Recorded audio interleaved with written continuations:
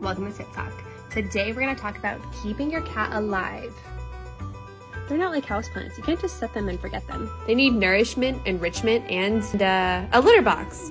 Seriously though, feeding your cat a healthy diet is not as complicated as it sounds. Check your ingredients and look for meat as the first ingredient. Make sure your cat has plenty of fresh water available and that they're drinking it. A fountain usually helps with that, as most cats love fresh running water, as you may have noticed already. It's important also to engage your cat in daily mental and physical stimulation, and I'm not talking about this.